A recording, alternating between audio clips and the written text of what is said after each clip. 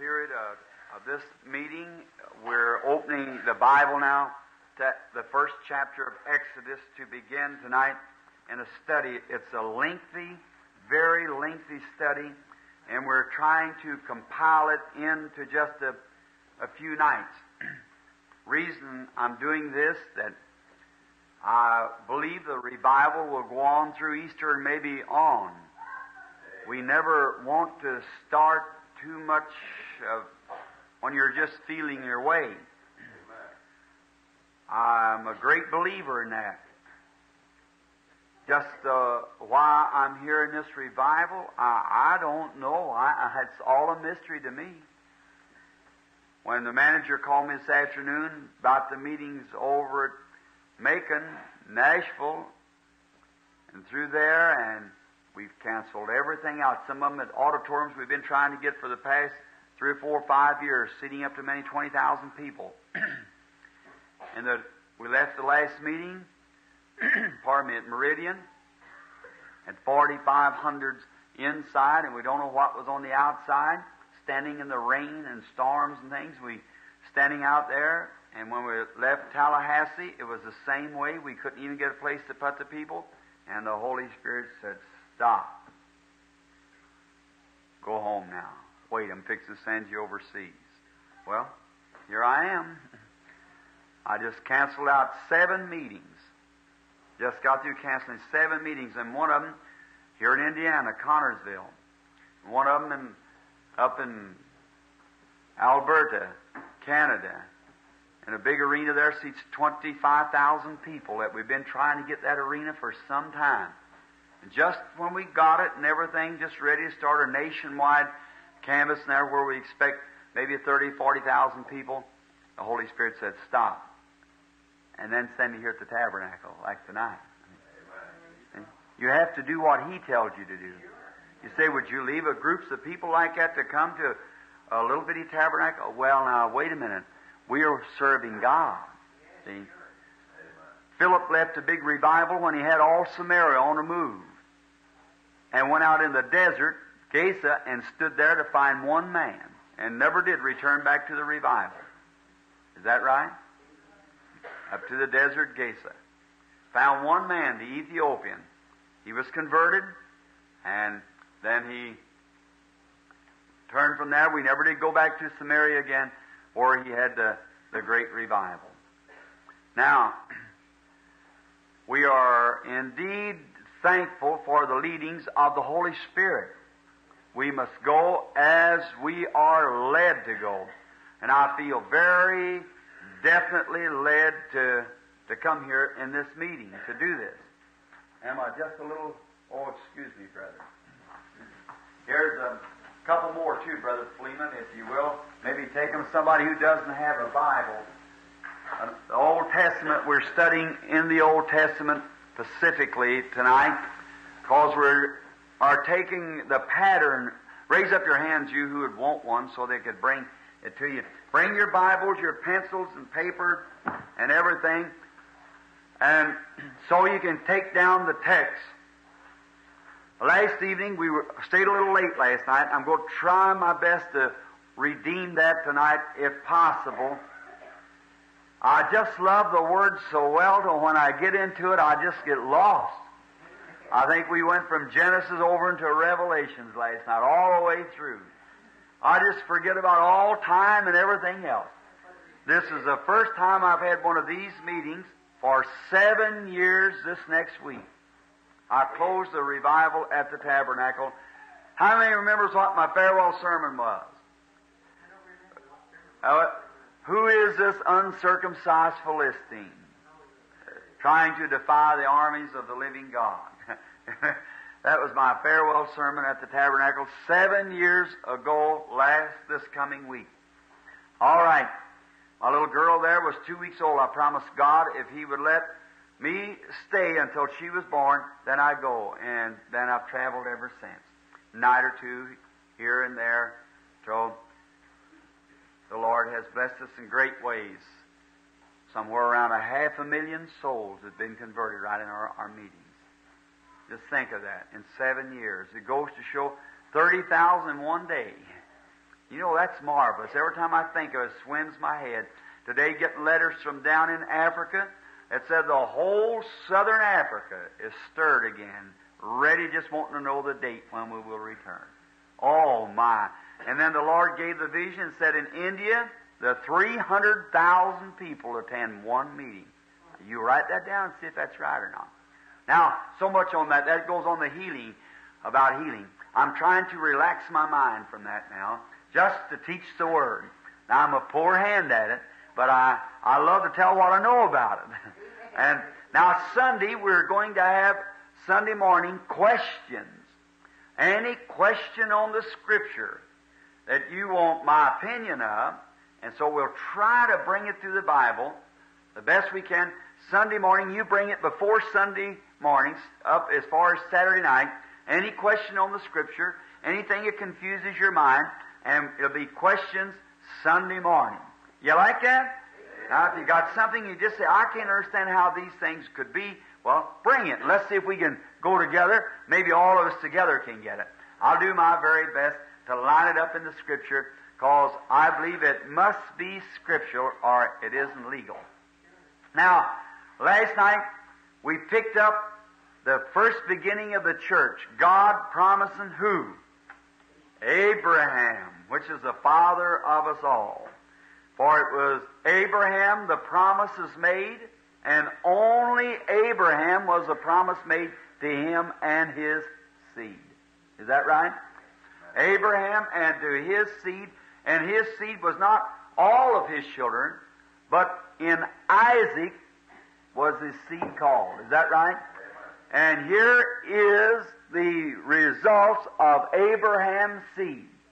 Jesus Christ is Abraham's seed, and we being dead in Christ take on Abraham's seed and are heirs according to the promise.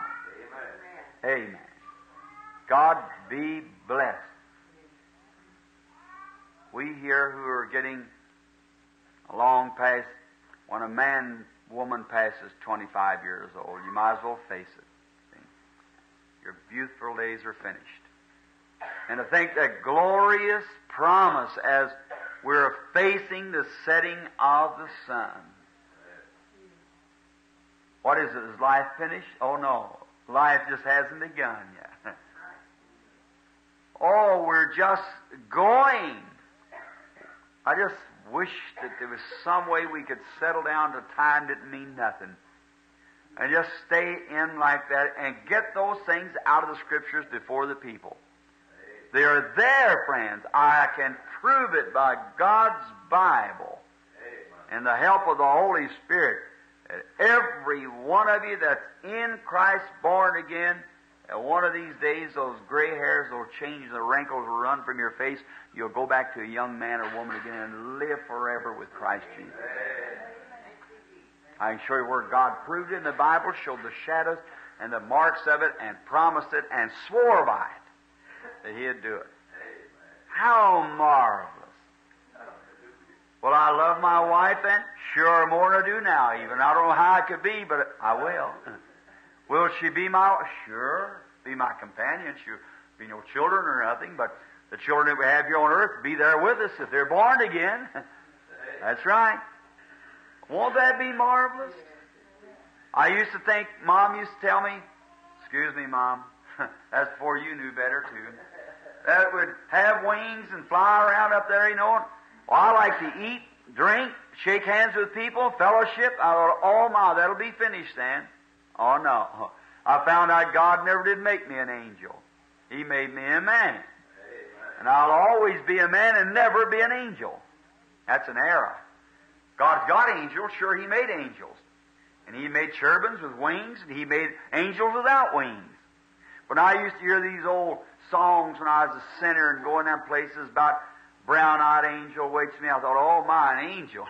I found out that's a lie of the devil. Never was such a thing.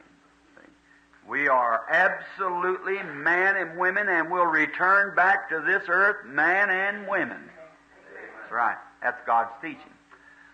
When you see those things, it makes you appreciate Jesus Christ. Now, what we're trying to do tonight is throw a shadow of what the Old Testament was to the New Testament. And all the old things, the Scripture says, was a type or a shadow of the things that is to come. Now, beautiful lesson tonight, Exodus. We left the children of Israel last night. Israel was called what before he had his name Israel? Who in the class can answer who was Israel before he get, was given that spiritual name? Now, somebody besides a preacher, I see a preacher raise his hand up. All right, somebody besides one of you preachers. Jacob. That's right. And what, what caused him to receive this spiritual name? Somebody said something. Prevailed with the angel and wrestled with him and said, I'll not let you go until you bless me. Hey, you want a spiritual name tonight? Just get a hold of the Holy Spirit and say, Lord, I'm not going to leave this tabernacle till you bless me. Things will look different when you leave. You be just as determined as Jacob was. You'll get a blessing. And watch. He touched his thigh. And Jacob walked different. Amen. I hope that goes way down home. When you wrestle with God, you'll walk different after that. Watch. A strong on the other side of the brook, of the little river, he was a strong, great man. Backslidden though. Away from God, running from his brother, running from God. But stout and sturdy. And on the other side of the brook, a limping prince. Thou art a prince before God, for you have power with God as a prince. A limping prince, and he limped all of his life. How God does things. Isn't He marvelous? Now, the patriarchs we left last night in Genesis, where that the last of the four that God gave His promise was Abraham, Isaac, Jacob, Joseph. God's, what was it in Abraham we found last night to the Christian church today? Election. Election and in Isaac, justification, and in Jacob, grace. You'd have to believe in grace if you read Jacob's life. You'd have to see it was election and calling, because oh, the things that fella did. But yet God had blessed him. God had told him what was going to happen, so he called him. But you notice, after he wrestled with this angel, things begin to look different. Then when he got before Pharaoh, he said, My pilgrimage has been so many years. God had let him know that he was only a pilgrim. Now, and in Joseph, perfection. Notice three stages justification by faith, sanctification through the blood, baptism of the Holy Spirit, then perfection glorified. The Bible said, those who he justified, this is to the spiritual mind, he also glorified. Is that right? He who he justified. Then if he justified us now, we're already glorified in his state. Not he, he will, he has glorified. Say, that's deep, isn't it? But that's what the Scripture says. God told Abraham, I have blessed you, and I've made you a father. Not I will, I have. I have made you, and you'll come to me in old age, you're going to be saved. I've already done it. I've already said so. You haven't got nothing to do with it. It's unconditional. God determined have His church. So every time He made a covenant with man, man breaks His covenant, and He does yet today. Man will always break His covenant with God, but God can't break His covenant with man. So I will. You notice, back there when he told Adam in the beginning, he said, Now don't do this, and you can do this, and don't do that. Adam turned right around and broke it. But then God seeing that he was lost, he said, I will put enmity. I will put enmity between thy seed and the serpent's seed. And he'll bruise the head and or you bruise his, his head will bruise your heel. Now, I will. When God says he'll do anything, you can look for it to be done. When man says he'll do anything, I don't know about that. But God told Abraham, I will save you and your seed after you. Not only Abraham, but all of Abraham's seed. Unconditional. Say, if you excuse me, I believe I could shout a little. Look. Oh, you just don't realize, people, what it means. Maybe some of you has never thought deep enough to get into it. God has already glorified His church. Those who He justified, He also glorified. In the church. In Christ, if you're justified in Christ, you're glorified in Christ. Already.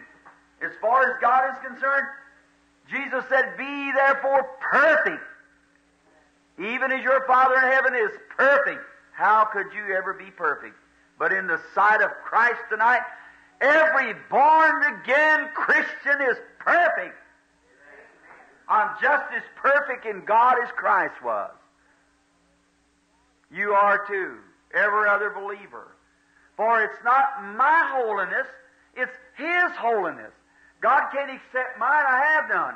But I come in Christ by faith, and by Christ I'm in Him and perfect in the sight of God.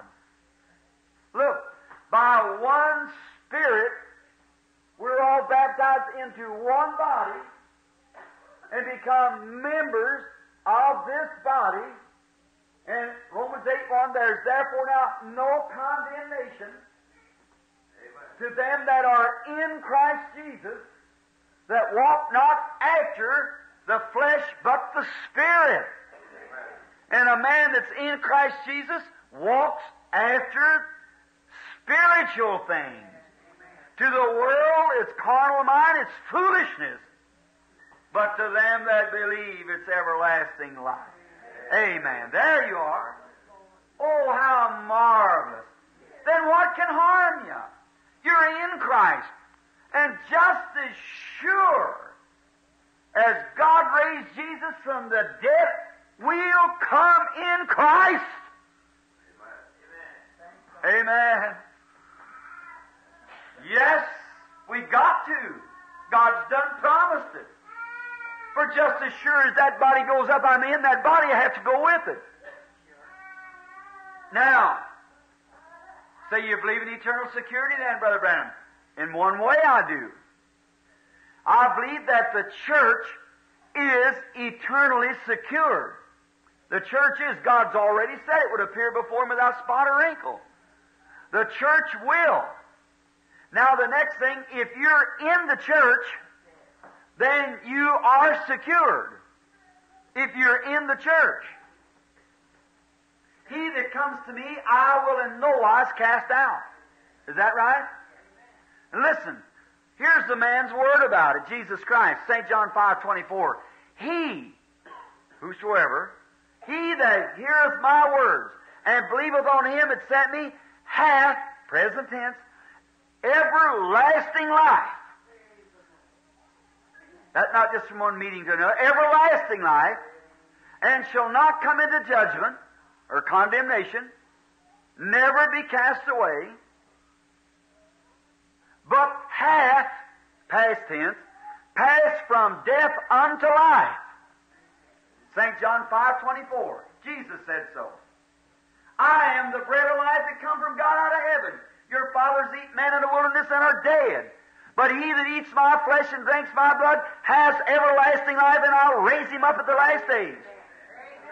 That's what he said. Now, there's many that pretend to be in there. There's many that's warring themselves and trying to live right and trying to press in. I don't know about that.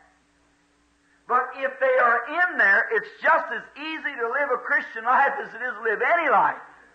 Because you're in Christ and nothing else but just the flow of the Holy Spirit leads you and guides you and directs you and why sure you'll make mistakes and fall, but you can't stay down because no more than you can make a, a stalk of corn, a, a sycamore tree. You can't do it. Jesus said, By their fruits you shall know them. You have everlasting. One of the greatest curses on the church today is fear. Everybody's scared to death. What's going to happen? Who? Why, Jesus said, even when the fearful sights come, lift up your head and rejoice. We're great. Your redemption's drawing nigh when these things happen. Now, how I took the church through that journey. How back there, even in Abraham and Isaac and Jacob and all them, look at the mistakes they had. But God was with them. A shadow.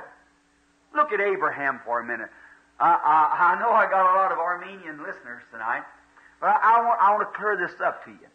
God told Abraham by election and by grace that I am going to bring you to me in an old age. In other words, I'm going to save you. I'm going to take you through. You're going to live a long life. You're going to have a child. Not being childish, Sarah, you, and you're going to have a child, and in that child, I am going to save the world. Now, before Abraham done one thing to merit it, but he just simply, God called him, that was all.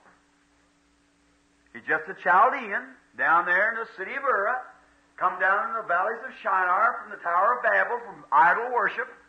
I think his daddy was an idol worshiper. And I think Laban, after he got down there, proved that he had them idols. Where he could he got them if he didn't come out of the Tower of Babel. And out of Ham's people come Nimrod. Nimrod set up the Tower of Babel, which was idol worship. The first idol worship on the earth. Now, and watch that Babel Tower come right on down Babylon, right on down through there, and end up over here in Revelations. A Christian religious idolatry, pretending to be Christianity. Oh, John seen her in Revelation 17, admired her, how she set, looked like, and wore the name of Jesus and everything else, and yet persecuted and martyred the saints of the living God. The angel said, Come here and I'll show you who she is. That she's a great church that sets over many on seven hills and rules over the earth and so forth. How she drank the blood of the martyrs of Christ. Oh, mercy. People were living in the end time. How many of you people heard years ago down here one day was going to have me arrested down here for preaching on that mark of the beast? When I said it, Mussolini, when he first come in power 20 some odd years ago, I said, if Mussolini ever goes towards Ethiopia, mark this down, there will never be peace till Jesus Christ comes. Now I said there'll be three great is, is, isms communism, fascism, and um, Nazism. I said they'll wind up in one ism, and that one ism will dominate the world and will burn the Vatican City. You remember me saying that years and years and years ago, and just exactly that way. I said just before that time comes, that automobiles, which is built that old straight back 20 years ago, 25 years ago, you can remember 20 years anyhow, I said they'll look like an egg. They'll be shaped. That's the vision.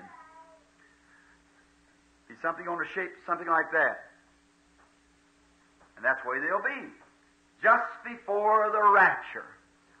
But God's just now loosening up the church everywhere, getting in order now so He can get into the rapture. Got to give it rapture and faith before it can go in the rapture. The people are in the spirit of the last days. Just like there was in the days of Noah, eating, drinking, marrying, giving in marriage, unconcerned, don't care, walk around, anything else. And these American people is the worst on the face of the earth. Heady, high-minded, incontinent, fierce, and despiser, those know-it-all. If there's any place in the world with my Bible over my heart and God knowing and I looking down on me and know I may have to stand before Him before morning if I had to say so, the place needs missionaries worse than any place in the world is the USA, the United States of America.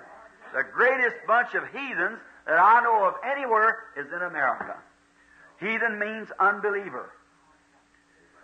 Oh, they believe theology, You're so calloused and drugged back to you, can't speak to him in a way. I can take a man out there never heard of God, worshiping an idol, and do more with him in five minutes than you could do with a fellow that professes to be a Christian, an old moss back, something that's hung along and had a lot of this embalming fluid and jerked into his veins, puts him in mind, one of old cold morgues down here somewhere like an undertaker establishment. That's right sit around down there, go in, put, I go in them old, big old churches and puts them in the mind of a, a morgue. The spiritual thermometer go a hundred below zero.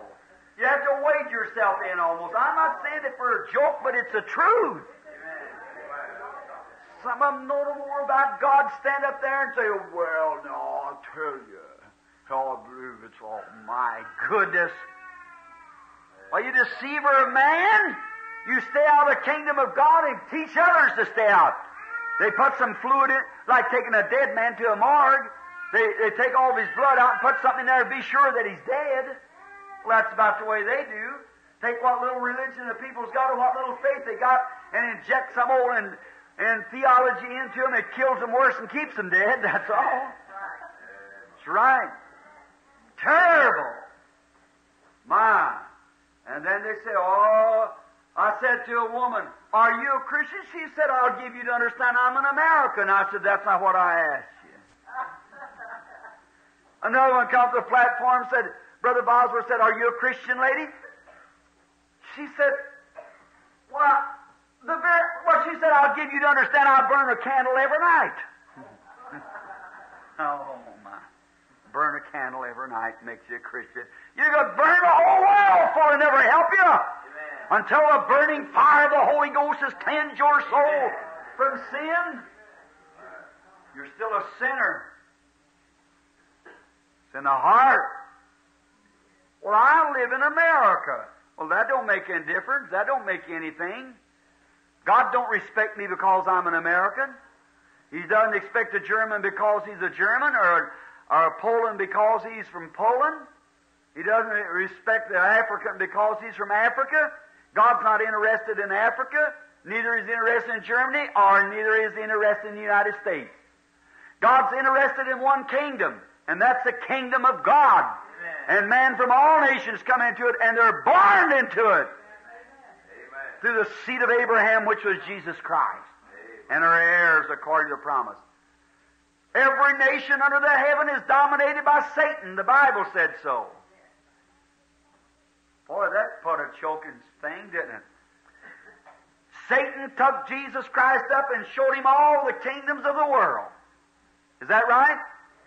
And he said, They're mine, and I'll do with them what I wish to, and I'll give them to you if you will fall down and worship me. Jesus said, Get thee hence, Satan. See? Jesus knew he was going to fall heir to them kingdoms. Now, over in Revelations, when the ending up of the world, the Bible said, Rejoice, ye heavens, and all ye holy prophets, for the kingdoms of this world has become the kingdoms of our Lord and His Christ, and He will rule and reign forever. Amen. Daniel saw him as a rock hewed out of the mountain, roll in and strike the image in the feet and break it to pieces, and the kingdom of God grew. When Christ takes over in the millennium, there will be no sickness, no sorrow. Every, all the Arms will be beat into plowshares and will study war no more. That's all. It'll all be over. When Jesus comes.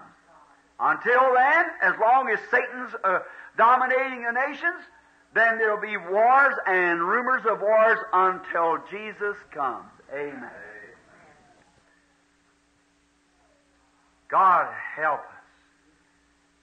As I look at you and realize tonight then you're teaching out of the Word of God that you're an eternity bound people. Every man and woman, boy and girl in here is going to stand in the presence of Christ someday. I'll have to answer for what I said before you as His servant. Why would I shun to tell you the truth of God? If God has so honored the word that I have preached till he swept it around the world. And honored in the king's palaces and everywhere. And not one time has he said anything but what is just exactly the way he said it. then surely He wouldn't let me tell something that was wrong. And I'm saying tonight, my Christian friend, no matter what church you belong to, wherever you are, if you're not into the kingdom of God by the baptism of the Holy Spirit bringing you into the body of Christ, you press in now. For you don't know what hour He's coming. Israel, down there now in Egypt, type of the church being called out. Exodus, the first chapter. Israel, located in Egypt after Joseph. Uh, it gives me just exactly about around 30 minutes. I'll try to compile as much of it as I possibly can. Now, they were located in Egypt because of the drought, Isaac going down and taking the patriarchs, and there they lived in Goshen. But Joseph, when he died, a beautiful illustration, he made mention of the departing of the children of Israel and made mention concerning his bones. Listen, if you excuse me, I like to drop you know, if you read the word right like it's here, it's all right, but you sure miss the meanings of it. The word is writ between the lines. Amen. Jesus said, I've hid it from the eyes of wise and prudent and reveal it to babes such as will learn. These theological seminaries are just like them priests was back there and the high priests and all of them that read the word but failed to see Jesus being the Christ. See what I mean? Now, look at those patriarchs. Why did old Jacob, when he died down there in, in, Egypt, he said, Don't you bury me here? And he bade Joseph put his hand upon that crippled thigh and swear by God that he would not bury his bones in there. Did you know that? He said, Take me back to my homelands and bury me. Look at Job back there, sitting broke out full of boils. And he cursed the day he was born. The oldest book in the Bible is Job. It was written before Genesis. Watch him standing there combing his with a crop sitting out in the back on a ash heap. I preached on that here one time for about three months straight. Some people get write in and tell me, said, Brother Bill, when are you ever going to get Job off the ash heap? and uh, I, I, about him sitting there. That great time of decision. Something had to be done. That zero hour. But you know what happened when we got him off the ash heap? Something happened. That's the way we try to do these revivals. We get the attention of the people pointed to Christ, then hold these places so you can get a place, you drive it in. That's the thing. That's Holy Spirit getting ready. Feel the Spirit moving amongst the people. You know when the kill's ready. Notice, there Job sitting there, distressed. His wife even turned against him. Walked over and said, Job, why don't you curse God? And I said, Thou speakest like a foolish woman. He said, The Lord gave, the Lord taken away. Blessed be the name, of the Lord. Here come the church members down and sat with their backs to him for seven days. What a consolation. Said, Job, you're a secret sinner. You've been sinning. Job knowed he hadn't sinned. Showed what they knowed about it. So, in the distress, a righteous man, God dealing with a saint, he sent a man by the name of Elihu. And Elihu didn't accuse him, only of accusing God. But Elihu told him, said, Now, Job, you've watched all these things. He said, Now there's coming a just one who's going to stand in the breach between the sinful man and the holy God. And then will that man, they will go to the grave to mourn for, and who perceive it not, then will he rise. Then when Job heard that, he stood on his feet. My, the lightning flashed, the thunders roared. What was it? The prophet got back into the channel of God again. My, his eyes come open. He said, I know my Redeemer liveth. Look, 4,000 years before he come on the earth, I know my Redeemer liveth. Continuation liveth. And at the last days, last 2,000 years, he'll stand up on the earth, though the skin worms destroys this body, yet in my flesh shall I see God whom I shall see for myself, and mine eyes shall behold, and not another. There you are. When he got ready to die, said, Bear me right over here in Palestine. Along came Abraham with a promise. Sarah died. He buried her right near Job. Bought a parcel of ground and buried her. When Abraham died, he slept with Sarah. Abraham begot Isaac. Isaac died, he slept with Abraham. Isaac begot Jacob. Jacob died way down in Egypt. He said, Don't bury me down here. Swear that you won't bury me. here. Take my bones and bury them up there with my father. Why? Why? That's not written, brother. It's in between the lines. Joseph, when he died, said, Now you put my bones here in a casket, but don't you bury me here. don't you bury me down here. You take me up there and bury me. Up in the promised land. Bury me up there. Why? I said, God's going to visit you someday. I'm leaving my bones here to represent something. Just as Joseph left his bones, so did Jesus leave an open tomb. Every old Hebrew beat across the back, weary and worn, stagger by there, and all those Egyptians look over and see that little old casket. I was supposed to look at here not long ago, a little old lead coffin, beat out thing. That's where his bones are supposed to have laid. They have it in the museum there, and I looked at it and said that's where Joseph's bones laid when Moses picked them up and took them with him.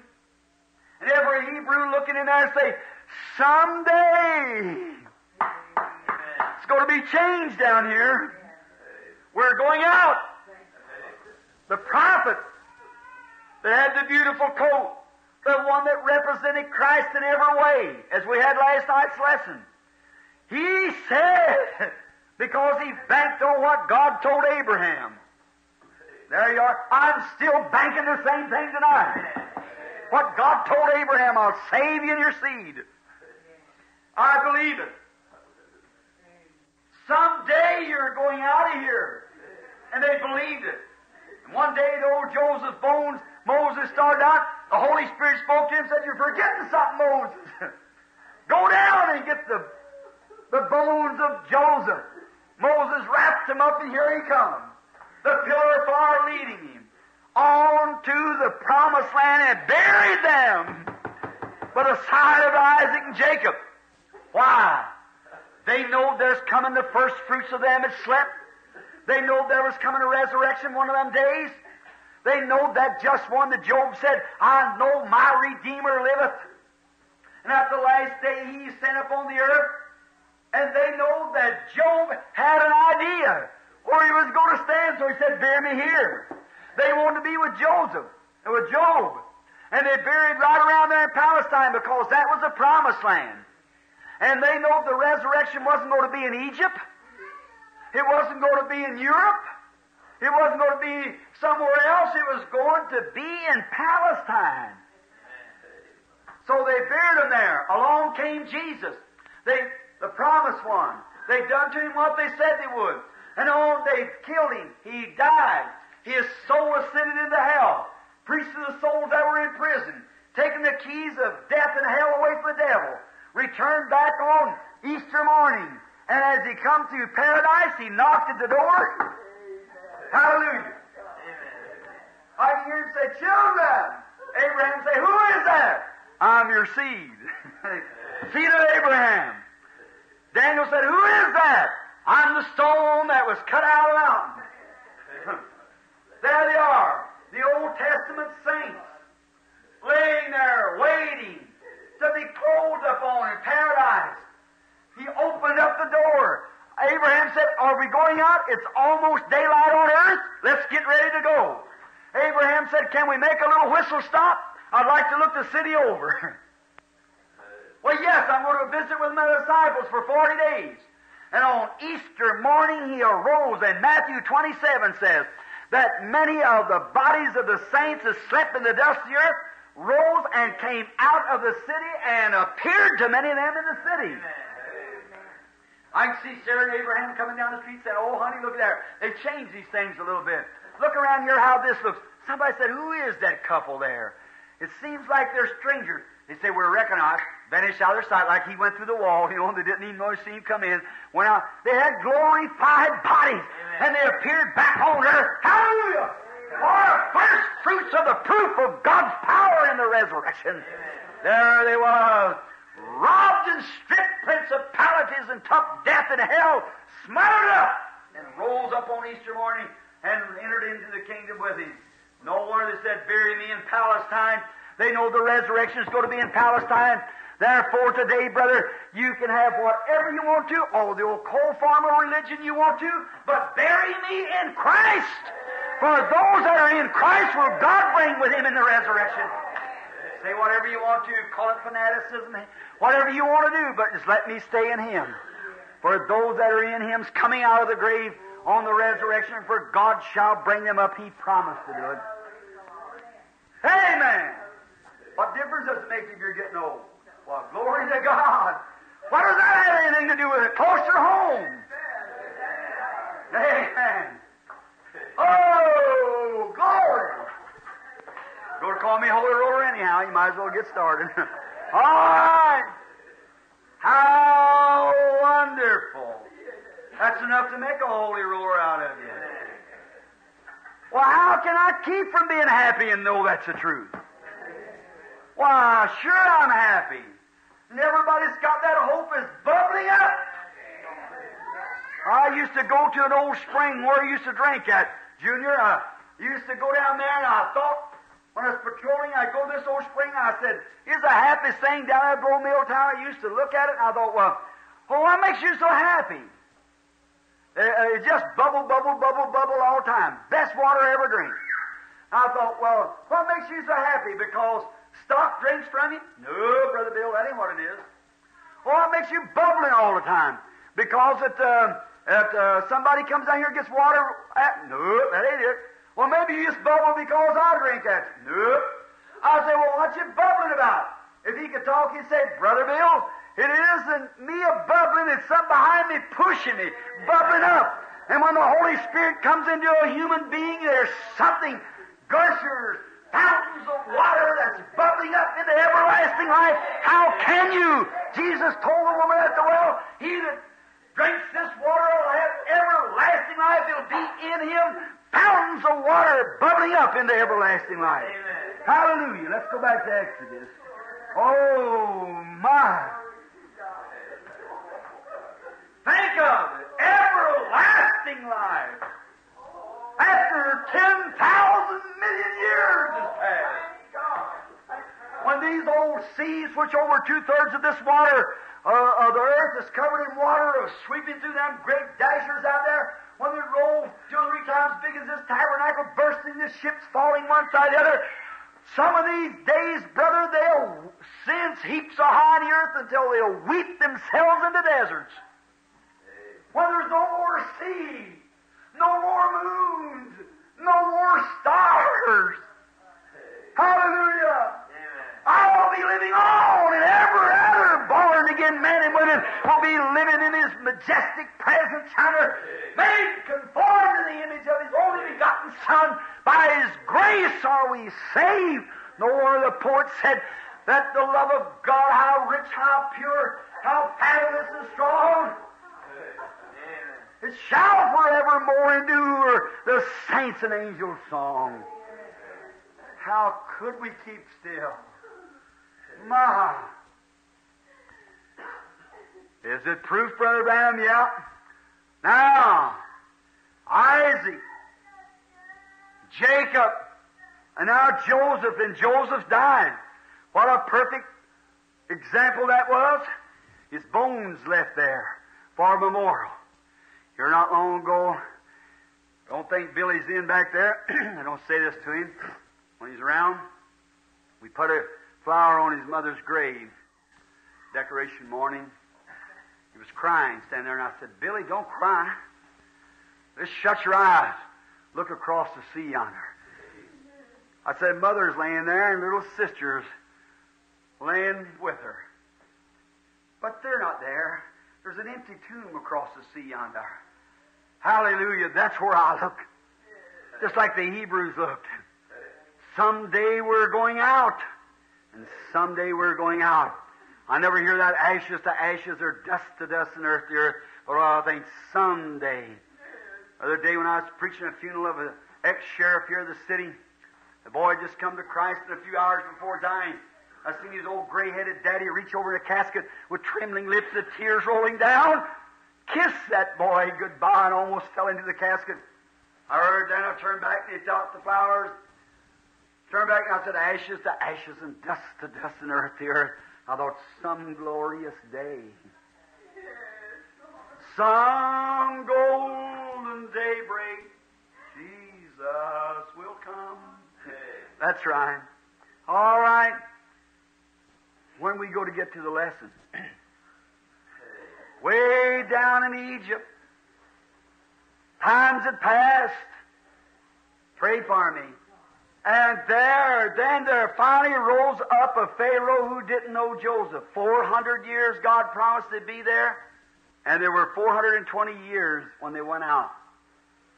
Now, first chapter, from the first unto the fifth chapter, fifth verse, is Israel in Egypt. And from the seventh verse on over to the 22nd verse deals with their bondage. Many of you has read it many, many times. I'm going to come to a short part now. Just got a, a little bit of time. Then we start in the second chapter. The preparation of deliverance, the birth of Moses. The people begin to get ready. Taskmasters beaten, children slain. The hour of the cogs of God's prophetic wheels that ground up to the time. Listen, I want you to get this. I believe they've ground up to it again.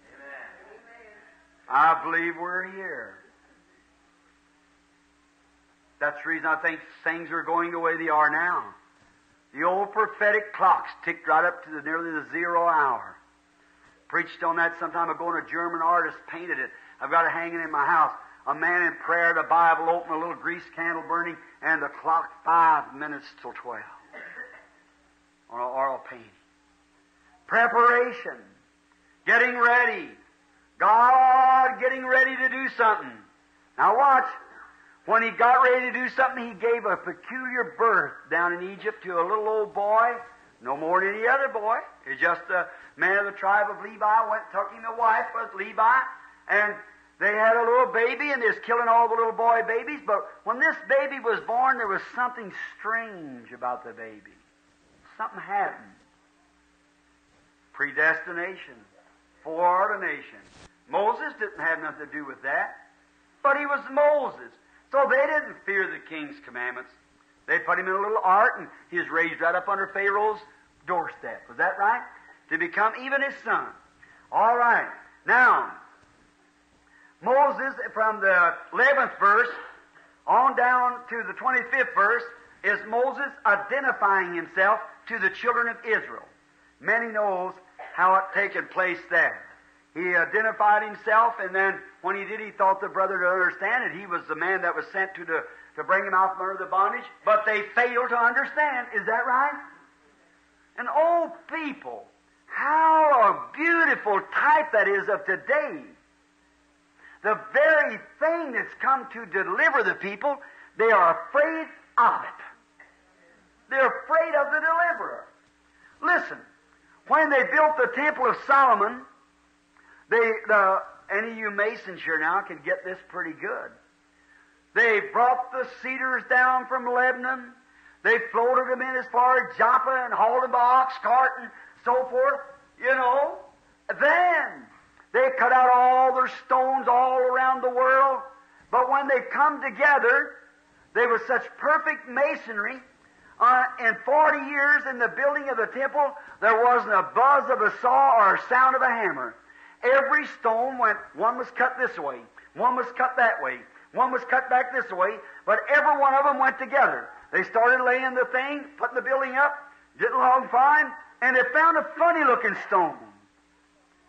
They didn't want that thing. They said, that don't belong here.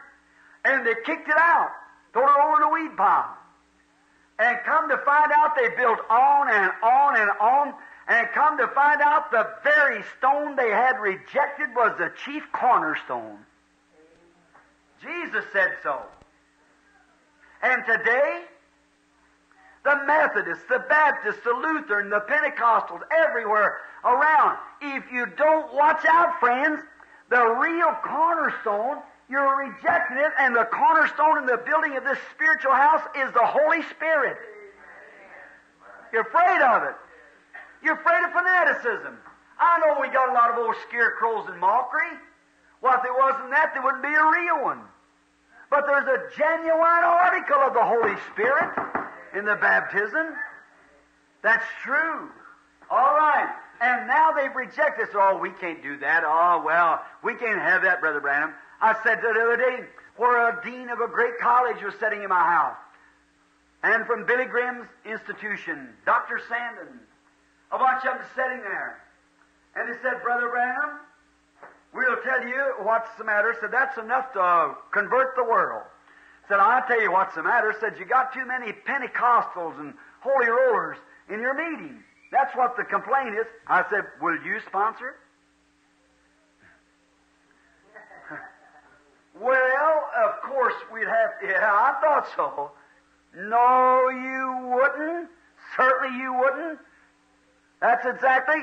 Them big churches and go ahead and have their theology and their crow about this and crow about that and stand off and look with their DDs behind them and things like that. And some of them know more about God than a rabbit will know about putting on snowshoes. That's right. Oh, oh, certainly they know all the Greek words and they know the, their education. God isn't known by theology or education. God's known by faith. Knowledge takes a man away from God. Faith brings him to God. That's what separated him from God in the Garden of Eden. He went to the tree of knowledge. In the very baptism of the Holy Spirit, that's brought life to the people. The reason the Pentecostals and the Holy Rollers, as you call them, receive me on the subject of divine healing. Oh, sure, kings and potentates, they hear about it. They say, come over here. The Lord being merciful heals them. It's like that. That's true, but all the rest of it, when he talks about eternal life, they belong to the Anglican church. They belong to this, that, there. They belong to church. That don't have nothing to do with it. You belong to church don't mean that with God. Unless you're born again, there's only one church. And that's them that are born into the body of Jesus Christ by the baptism of the Holy Spirit. Amen. Hallelujah. Let me tell you, my brother, there's only one way to get into Christ. That's not by shaking hands, neither by water baptism, by sprinkling, by stop eating meat, by keeping Sabbath days, by quit smoking, chewing, drinking, swearing, all these things. That's not the way into Christ. Amen smoking cigarettes, drinking whiskey, running around with the other with uh, women unlawfully, all these things that you do, that's not sin. That's, that's not sin. Cussing, swearing, drinking, that's not sin. That's the attributes of sin. You're a sinner, what makes you do it? But that isn't sin, that's the attributes of it. Just like now, this is going to hurt you. But I'm responsible with God's Word. Willing to discuss it any time. Here's where you Pentecostal people's made your mistake, many of you sitting here, of teaching the initial evidence of the Holy Ghost, speaking in tongues being the Holy Ghost. Why, speaking in tongues is all right, but that is an attribute. Amen. That is the Holy Ghost. That's what the Holy Ghost does. The Holy Ghost is the love of God. I can prove it by the Bible. Though I speak with tongue of men and angels and have not love, it profit me nothing. Amen. If you want an apple tree and just got an apple, you're a long ways from getting the tree. See, it's an attribute. Sin, the reason you curse, smoke, drink, get angry, and fly off of the handle and things like that is because you are a sinner. That's not sin, it's because you're a sinner. Jesus said, the scripture says this, He that believeth not is condemned already. Amen. If you believe, you don't do those things because the life of Christ is in you. And if you do do them, it's because that you are a sinner and you're not a believer, though you profess to be, yet you are not. The tree's known by its fruit. Now that, let that soak just a minute while I read. That's right. That's what Jesus said. The tree's known by the fruit it bears. A corrupt tree does not bring forth good fruit. All right. Way down. Here they come. Time of deliverance. Moses is born. raised up the Pharaoh's doorsteps, come out, thought the children would realize that he was the guy to do it. But did they do it? No, sir. They said, Who made you a ruler over us? Will you slay us as you did the Egyptians? And Moses fled. All right. Moses rejected of his brethren, beginning at the 21st verse of the second chapter. We're going to stop just a minute on this. I'm just trying to give you a background. We just got a few minutes left. Maybe we have to finish up tomorrow night. Notice he was rejected of his brethren. And he went out into the land of Midian and married a Gentile woman. A perfect type of Christ was Moses, is that right? All those patriarchs were Jesus Christ living pre-life. Moses born under persecution. Just as this killing all the babies in the time of Moses, Jesus, when he came, they're killing all the babies to get him. Is that right? The devil trying to catch Moses, the devil trying to catch Jesus. He was trying, I can see Jesus when he went up down there and knocked on the door down there in hell that morning. Hallelujah. I don't know if this ain't in me to teach, I guess, tonight. When I can see Jesus when he died at Calvary, ascended, went down there and seen all those people back in there weeping and wailing and carrying on, said, You ought to listen to the prophets. Amen. He preached to the souls that were in prison. You had Enoch, you had the prophets, you had the laws. Why didn't you listen to it? They didn't. Closed went the door. Went out to hell. Knocked at the door. Satan said, Who's there? He said, Come on the door. Oh my. I'm just giving drama, of course. Walked up the door and pulled open the door and said, Who are you? Why, I said, I'm Jesus Christ. Oh! So you finally got here, did you? I've been after you for a long time, boy. I know you have. Now look, I thought I had you when I killed Abel. I thought I had you when I killed Moses. I thought I had you did all, all these things when I got John the Baptist. I thought I had you sure. But now I got you. You're here in my possession. I hear Jesus Christ say, I am the virgin born Son of God. I came from the ivory palaces of my Father. And I came to the earth, and on the earth is bathed this morning with my blood. And I gave and paid the price of death, sin, and hell. Give me those keys. Hallelujah. I'm taking over from here on. You kept the people in bondage, you kept them in fear and everything else, but I'll take over from this on. Hallelujah. Took him off and hung him on his own side, pushed him back in hell, and walked away. Amen. Amen. The mighty conqueror since he rent the veil into. Lo, behold him in full view. The mighty conqueror rose up and said, I'm he that was dead and is alive again. And I'm alive forevermore and have the keys of death and hell. Hallelujah. He that heareth my words and believeth on him and sent me hath everlasting life. I've got the keys of the resurrection. I'll raise him up in the last day. That satisfies me. Amen. I am he. Amen. Oh my. Moses, rejected by his own brethren. Jesus was rejected by his own brethren. Joseph was rejected by his own brethren. See Jesus living down in there? That Spirit of God coming out to perfection. And here's where it was perfection in this man. That's right. He was in Moses, sure he was. Rejected of his brothers and was an alien in his own country and took a Gentile wife. Hallelujah! Amen. Two sons again. Amen. I'll get to that right at the end of these lessons around about Sarah here Sunday. Them two sons, Ephraim and Manasseh. Two sons again. Is that right? Rejected by his brothers, like Jesus Christ was rejected of his brothers, sent the Holy Spirit, rejected of the brethren, and come over and now is getting a Gentile bride. Given it like Joseph, rejected by his brothers, took a Gentile bride. Oh my. Now, second chapter. The call of Moses, the burning bush. Oh, I wish we had time to go in there. We haven't. Just a few seconds now. Then we'll, then we'll try. When you get tired, raise up your hand. I'll, I'll quit, honest I will.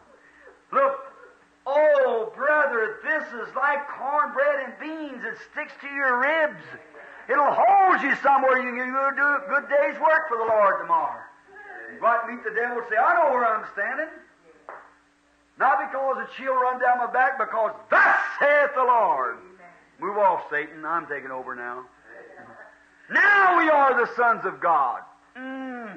When? Now. Tomorrow night? No, right now. Now we are the sons of God. Now we're seated together in heavenly places. Now is the Holy Spirit here. When? Now. Now we have eternal life. Will you get eternal life when you die, Brother Branham? I have it now. I now possess it. How? Jesus Christ said so. Thus saith the Lord, so move away, death. Move away, Satan. You have no more bonds to me. Old Paul is building a chop block out there saying, You know what it is, boy? Go chop your head off.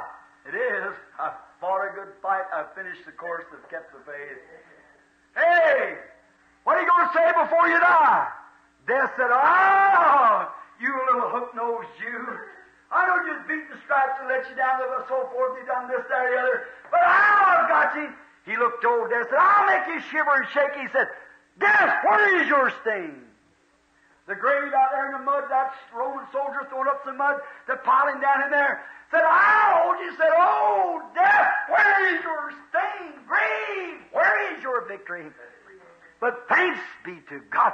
The grave said, I'll hold you, I'll mold you, I'll canker you, the worms will eat you up, your bones will turn back to dust. But Paul said, look at that empty tomb out there. I'm in him. Hallelujah. I'll rise again on that morning and receive a crown of the glory of the righteous judge will give me. Not only them, but every one of them, even them in the Branham Tabernacle, to love his appearing. Amen. Sure. The devil's nothing but a scarecrow. He just scares you into something. He has no legal rights at all.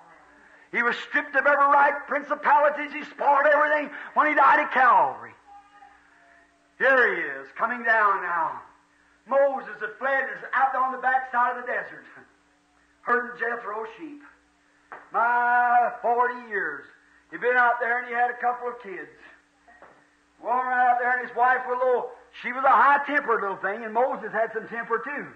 So I imagine they had a big time out on the back of that desert, don't you? God knows how to tame you down. yes. So one morning I see him with an old crooked stick, hobbling along 80 years old, with white whiskers hanging down like and hair hanging down. He looked over to one side. So that's a strange sight. Looked again and said, Why, tree burn up? So I believe we'll just turn aside. you know, sometimes you hear a lot of noise, just turn aside to see what it is and get saved a lot of fire, you know. Yeah, gets to burning the Holy Ghost fire, gets to burning people turn around and say, What's the matter with that? Now Moses began to draw and said, What do I think don't burn up? Been burning there for a half hour, it ain't burned yet. Walked up and said, Well, now I'll just walk up and see what it's all about. And a voice spoke out there and said, Take off your shoes. The ground where you stand is holy ground. Now I didn't say take off, I, Moses said, I'll take off my hat. He said, Shoes. So I reached down and slipped off his shoes. so who are you, Lord? Said Moses. Now this beginneth the third chapter, goes down from the first verse down to about the twelfth. Said Moses, I've heard the groans of my people. And I remember my promise. Oh, hallelujah. I remember my promise with Abraham. I've heard the cries and groaning. I've come down to deliver them. Amen. Come down to keep His word. Some of these days, the old graves down the tombstone setting sideways on grandma's grave, that don't make any difference. I remember my promise. I've come down to deliver them. I don't care. Let it come. Don't make any difference to me. Hallelujah. I know who's guiding the ship, don't you? You sit still. I've come down to deliver them. What are you going to do? Moses is going to send you. Oh, Lord, send me. I can't do it, Lord. Oh, yes, I've put you in this world for that purpose. Well, I'm 80 years old. I'm kind of stiff in the back. I may have arthritis. I'm a, not an eloquent man. I, I can't speak very well. Now, who made the mouth of man? He said, Lord, if you'll show me your glory, I'll go. Amen. Don't get scared. That word means so be it. See? Show me your glory and I'll go. I like to see a little extra kind of glory, don't you? Yes, sir. Show me your glory, Lord. Now, what, what is your glory, Lord? Moses, what is that in your hand? It's a stick, Lord, an old crooked stick. Said, throw it on the ground. Throw it on the ground, turned to a serpent. He jumped back, said, pick him up in the tail. He did it, turned back a stick. Said, now, Moses, what's that in your, said, take your hand, put it in your bosom. He did. Over his heart, pulled it out. It was white with leprosy. See? It means the conscience of man, the heart of man is white with leprosy. The very thoughts of his mind is leprosy, sin. He put it back in his bosom and pulled it out again. What had to be done? When it come back out, it was white, cleaned off. It's like a baby's hand, like the other hand. He's seen God's glory. What is God's glory then? Miracles, signs, wonders, and divine healing. Show me your glory, Lord. When he's ready to deliver his people, uh, Moses comes along, the Holy Spirit, and shows signs, wonders, and divine healing. Amen. right! Then, he looked at his hand, he said, My, and watch. This was a judgment rod. That was a rod we'll find out tomorrow night's lesson on how that rod did wave over Egypt. That wasn't that was God's judgment rod. And the hand that holds God's judgment must be cleansed. Amen. A cleansed hand from his leprosy. He picked it up, said, Now, get on down in Egypt. Your brother's on the road up here, and he'll be a prophet to you, and you'll be like God to him. Here goes Moses, come over there and said, Jethro, I gotta leave you today. Grabbed up an old mule and put a halter on him like that and set his wife on the straddle this old mule with a young'un on each hip. Here she went. Could you imagine that?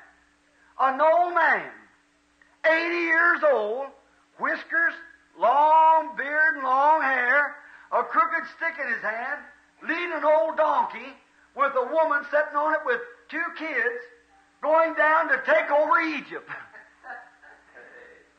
Could you imagine a sight like that? Going down to do what, Moses? Some of them, here he goes. Bye, he's had the big time. Come on, Zipporah, if that's his wife, you know, pulling the old donkey to along, say, come on, we're going down to Egypt. Going down to take over. Egypt was like Russia. The biggest mechanized units, the greatest army in the world was in Egypt. They could wed the whole world whipped to the ground. And Moses was going down to take over. An old man with a stick in his hand, a wife sitting on a mule with a kid on each hip. Here she was going. They were going down to take over. Why? God had promised. Glory to God. That's the same way Kadesh Barnea. God had promised them. Joshua said, We can do it because God said so. There they are, going down to Egypt. And now watch how neglectful a man can get. In the end, God met him down here in the end and would have slayed him. And Zipporah went and took a sharp rock and circumcised her two children with a sharp rock and throwed the foreskin before Moses and said, You're a bloody husband to me. Only saved Moses' life. What was Moses doing? Moses got in such a hustle and bustle of the day till he was in such a, a place to go down there, he forgot the seal of circumcision. And that's where we are doing today. That's where the holiness churches are failing. We've got so much time. The Lord has given us a lot of money. We're building great big churches and big spires and putting plush seats and pipe organs until we forgot the seal of God, which is the baptism of the Holy Ghost. True. God sent us a, a Zipporah. That's right. Circumcision every male in Egypt uh, of Israel that wasn't circumcised was cut off. And circumcision was the seal of the promise. And circumcision of the Old Testament is the baptism of the Holy Ghost of the New. And every man outside the baptism of the Holy Ghost will be cut off. There you are. God be merciful. I, I, I know I'm wearing you out. But I'm just having such a time. Uh, well, maybe I have to stop. All right. Just start tomorrow night at the fourth verse and the fourth chapter. Jehovah in the last part of the fourth here, third, makes his name known. I am the I am. Said, who am I going to say sent me? Said, I am. Said, the people won't believe it. Said, tell them I am sent you. I am. Not I was, I will be, but I am. That's present tense. The Jews one day were standing there drinking water and rejoicing and talking about the man of the eat in the wilderness, and Jesus stood in the midst of the people, St. John 6, and cried. And at the feast, and they said, Well, our fathers uh, eat man in the wilderness. And he said, They're everyone dead. He said, But I am the bread of life that come from God out of heaven, the tree of life from the Garden of Eden, if you wish. I am the bread of life from, the, from heaven. And if a man eats this bread and drinks this blood, drinks my blood, and eats my flesh, has everlasting life, and I'll raise him up at the last days. They said, This man blasphemeth. How's he going to give us his body to eat? He said, Well, we know we believe Moses. Moses is our, is our prophet. We believe Moses. And our fathers were fed in the wilderness for 40 years with manna. He said, I know that. He said, I know that, but every one of them's dead. He said, But I am the bread of life. Why? They said, Well, you mean to tell me that he was a rock that was in the wilderness? He was a manna that was in the wilderness. He was a showbread in the temple. Oh, he was a waters in Jordan. Glory! He was the Alpha, and the Omega, the beginning and the ending. He was He that was, which is, and shall come. He was before there was a world. He'll be when there is no world. The root and offspring of David, the morning star. The lily of the valley and the rose of Sharon. Hallelujah. Both root and offspring of David. Hallelujah. Before David, in David, and after David. Glory. I believe in of Jesus Christ. He was more than a prophet. He was more than a good man. He was God, veiled in flesh. God in Christ reconciling the world to Himself. That's who He was. We'll get into that next few nights. Who He was. That's the reason you can't have faith because you don't know who He was. Why, they said, You say that you saw Abraham and you're not 50 years old yet. The man wasn't but 30 worrying his services had drawn him down. He said, You're not a man over 50 years old, and you say you've seen Abraham who's been dead for eight or nine hundred years? Listen, he said, Before Abraham was, I am. Amen. Hallelujah! I am Jehovah! He's Jehovah Manasseh. He's Jehovah Rapha. He's a Je- all, all the redemptive names of Jehovah was in him, and in him dwells the fullness of the Godhead bodily. Amen. There he is. I've come down to deliver him. I'm declaring my name. Tell him that'll be a memorial through all generations that I am the I am. Not the I was or I will be, I am. The same God was there that night is here tonight. Now I'm going before you. I'm going to send my angel, and he's going to be in a pillar of fire. Now I'm going to send him before you now as a pillar of fire, and he'll lead you. A pillar of fire. So big, like a pillar. A pillar of fire shall go before you to lead you. The I am will be in that pillar of fire. Now, to the Branham Tabernacle, and to you who are associated and know these truths. Did you know that same pillar of fire is with us tonight? Amen. You remember having its picture taken down yonder and how it's swept across the world now? The same pillar of fire? That followed Moses back there in the burning bush? What is it? The anti scholar here, Darrison, if I have been slopping along here with these words and things, I do know where I'm standing. Amen. I got my head screwed on right, I believe, by the Holy Spirit. Let me tell you, any scholar here knows that that angel who followed the children of Israel through the wilderness was the angel of the covenant. And the angel of the covenant was Jesus Christ. Moses esteemed the riches of Christ greater treasures than all of Egypt. Is that right? Sure! the angel of the covenant. Then what is it here with us? They may say we got lost our mind, we're this, that, or the other, a bunch of holy rollers or something. Maybe they might say it, but God Himself has vindicated Himself in the same pillar of fire that led the children of Israel is leading us right on today. Hallelujah! Glory to God! The same one was with Jesus Christ back counter when he stood. He said to them Pharisees, this there, there told the woman at the well where her secret sins was and so forth is operating in our midst now. He that was, which is, and will come. Hallelujah. I'm looking for him. Are you? Glory to God. Hallelujah. All the guessing's gone. Oh my. When I survey the wondrous cross whereon the Prince of Glory died, all my fame I count but lost. Poor wretched. Oh, my sinner friend. How can you stand to see that great church there in its four shadows heaping up at that pillar of fire to lead them? And look right back here right today. How many's got the picture? Let's see your hand. How many like to have the picture? Let's see your hands raised up. I'll have them tomorrow night here to show you. All right. There it is of vindicated 30,000 people, critics standing there. I said, I don't claim to be a healer. You know I don't. I only speak of the truth. When I was born in a little Kentucky cabin up there, the angel of the Lord come in the window and stood there. There's a pillar of fire. I said, God has proved that.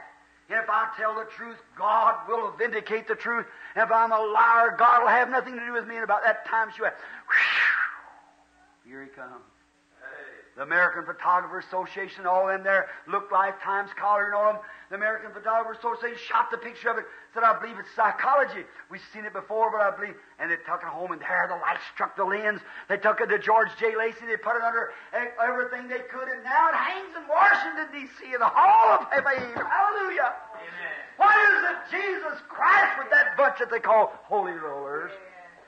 God bless your heart. Famous picture ever painted first had to go through the Hall of Critics. The man who painted the Last Supper there, it went through the Hall of Critics. While they criticized it, cost him his lifetime. But now it hangs in the Hall of Fame. It has to go through the Hall of Critics. Brother, and sister, when we started in this, what they call this Holy Ghost religion, way back under years ago, we had to get little old stables somebody's house, a little storefront somewhere, and he stood on the outside, the sinners chewed chewing gum, laughed and made fun, called us holy rollers, and was slept in jail and everything else. That's right. They've been beat, they've been made fun of. A little old preacher sat in my house the other day that they turned him out of a and him and his wife to feed his babies. They'd sleep out in old blankets, wet blankets, and hang them up in the trees, let them dry out of the morning. And they'd go down the railroad track picking up a grain of corn at a time. Had a little skillet, they beat it up with a rock and they live for 12 or 14 days at a time on beat corn. My old manager, God bless his heart, old brother Bosworth, laying out in Durban, Africa tonight, praying for me to come there, laid down in Texas with his back beat into stripes. When they threatened to cut his throat and everything else, when he walked with a broken wrist trying to pack his suitcase, beat for preaching the baptism of the Holy Ghost wandering about in sheepskins and goatskins and destituted in desert places, of whom the world is not worthy to receive. The big churches made fun and pointed their fingers. They said we were holy rollers. When they built the, uh, laid their cornerstone there, they said they'll turn that little old thing into a garage. It's been 20 years ago and the Holy Ghost still lives here. Hallelujah. That's right. And what they said was fanaticism and everything, kings and monarchs across the world. That's all great man has been healed. The powers of God has swept the world around. Till now we stand millions strong. Hallelujah. One of these mornings she's went through the critics. They said it would burn out. They said to me down here, said, Oh, Billy, you lost your mind. That's all there is to it. Even my own mother-in-law said, Well, the boy's gone crazy. But if I am, I'm having a wonderful time. Let me tell you something, brother. Listen to this, and I say this with respect. Hallelujah! All hell can't stop it. It's ordained of Jesus Christ to be so, and it will be. Upon this rock I'll build my church, and the gates of hell shall not prevail against it. How? What is it? What kind of a church? Flesh and blood has not revealed it to thee, Peter, but my Father which is in heaven has revealed it to you. Spiritual revelation by the Holy Ghost of the Word of God. On this rock I'll build my church, and the gates of hell can't prevail against it. She's moving on. Now, brother, she's been made fun of and persecuted and pushed back and everything, one of these glorious mornings, hallelujah, the great Master who stands in glory, pointing out His servants, not by power, not by might, but by my Spirit, saith the Lord. Not by theology, not by grammar, not by these other things, but by simple, holy, unadulterated faith in the Son of God and what He said in His Word. He's painting a picture. He's painting a picture. What is it? A Holy Ghost filled church that He foreordained before the beginning of the world to appear under in His glory. And some of these mornings He'll sweep down too from the heavens. Hallelujah! Like a great magnet, and he'll pick up that little church that's been persecuted, hang her out in the hall of fame when she goes to the sky, shouting, This robe of flesh I'll drop and rise and seize the everlasting prize. Shout while passing through the air. Farewell, farewell, sweet hour of prayer. Amen. Heavenly Father, we thank Thee tonight. Don't know what's the matter.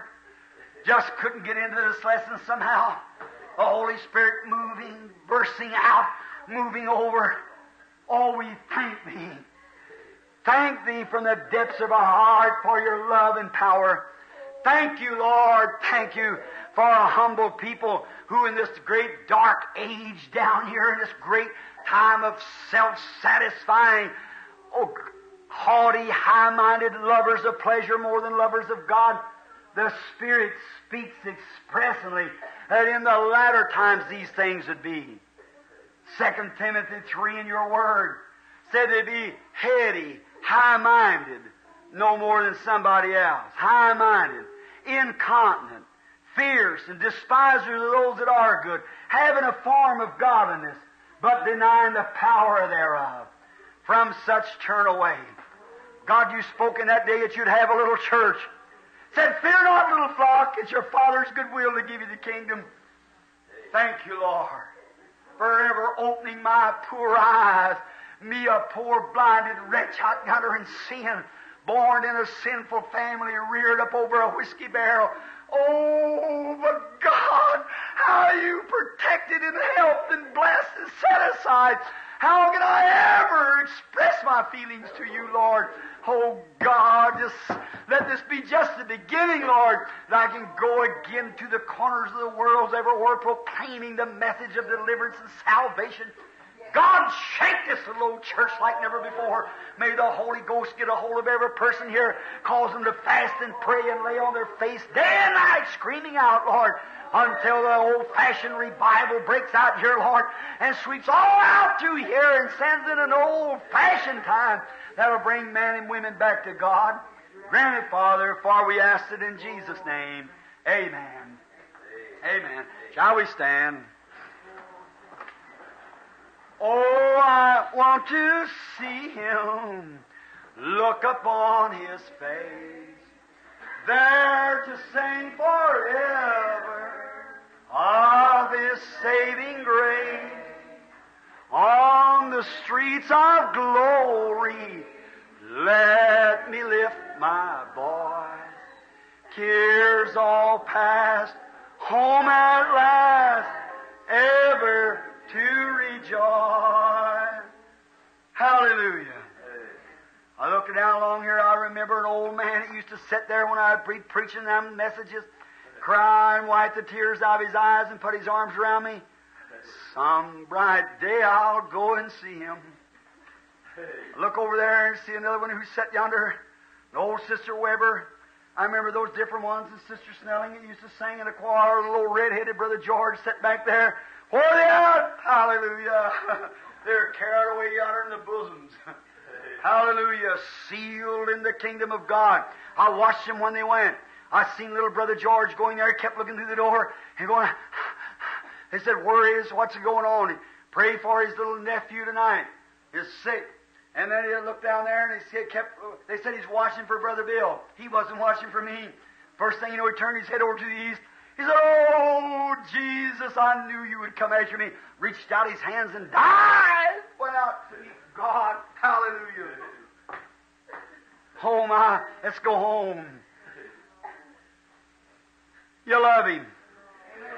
I wonder if there's a man or woman in here say, I'd like to know him in the fullness of his power of his resurrection. Raise your hand. God bless you, lady. God bless you. God bless you. You're wondering why I'm waiting on this altar call. I have a reason for it. All right, raise your hand. I'd like to know him in the power of his resurrection. How uh, resurrected power. Brother, I don't mean something you have to dig and pull and try. I mean just throw yourself loose and God's done set you away on yonder somewhere where it's just such a pleasure to live for him. There's nothing in the why the other things is just as dead as a, as twelve o'clock, see? Nothing, no desire at all, no condemnation to them that's in Christ Jesus. My, those old things of the world, you don't have to quit them. You don't, ain't nothing to quit. It just quits you. It just, it simply is not there no more. It just goes away. Amen. How many loves the Lord say amen? amen? Say it real loud. Amen. All right. Take the name of Jesus with you, child. Turn around, shake hands now. Man of woe. Shake hands with somebody near you. Say, I'm glad to meet you here in the tabernacle. And straighten up again. You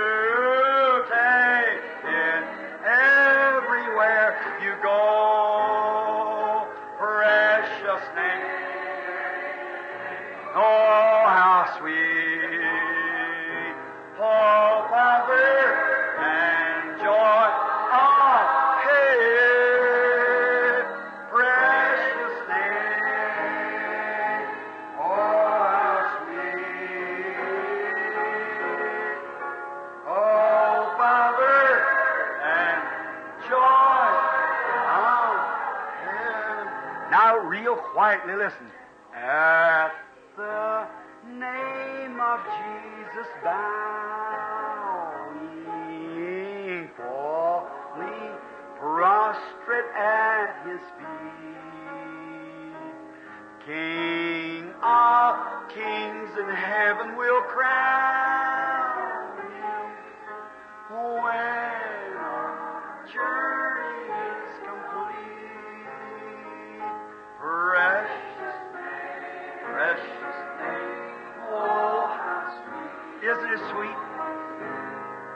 Everything in heaven named it. Everything on earth named it. Jesus. And precious name, precious name, oh how sweet! Oh, Father,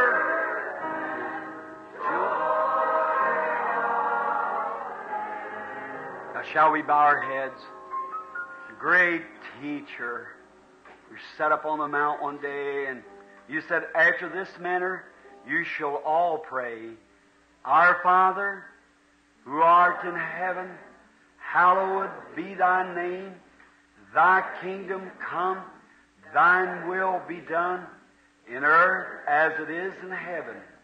Give us this day our daily bread, and forgive us of our trespasses, as we forgive those who trespass against us. And lead us not into temptation, but deliver us from evil. For thine is the kingdom, and the power, and the glory forever. Amen. Good night. The Lord bless you. At the name